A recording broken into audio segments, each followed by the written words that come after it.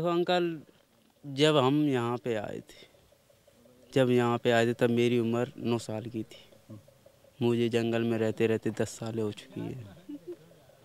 मेरे जे माँ बाप हैं सब कुछ है। मेरे माँ बाप ने मुझे छुड़ाया नहीं है। मेरी पकड़ होके आई थी।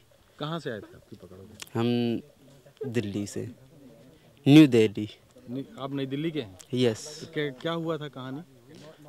कहानी मुझे कुछ गुंडों ने उठाया। उठाने के बाद मेटाडोर में रखा। उसके बाद मुझे मालिक के पास ले आए। बोले कि इसकी फरौती लेनी है और इसका रुपया तुम्हें मिलेगा। मालिक ने कहा, ठीक है, हम इस बच्चे को ले लेंगे। फिर उसके बाद मेरे माँ बाप ने कोशिश तो बहुत करी छुड़ाने की, लेकिन उन्होंने जो बीच के जो दलाल होते हैं, उन्होंने मेरा रुपया खा लिया। उसके बाद फिर हम छूट नहीं पाए। ऐसे ही फिर हम जंगल में बने रहे। रात में हथियार थाम लिया।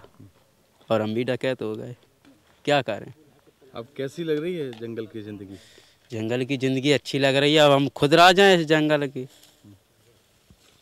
पहले हम घर पे थे लेकिन अब जंगल की राजा हैं खुद। आपने यहाँ शादी भी हो गई आपकी? किस्मत की बात है अंकल जी।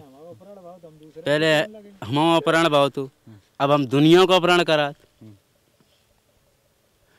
तो ये जो आपकी पत्नी है वो भी क्या आपने अपहरण करके लाई है? नहीं। ये तो खुद मर्ज़ी का काम। अच्छा।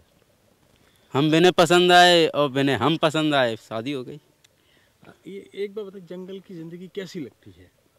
माने अच्छाई क्या है और उसको कभी कभी तकलीफ़ भी होती होगी देखो अंकल आदमी जो बदमाशी करता है किसी मजबूरी के कारण उसको बदमाशी को कराता है।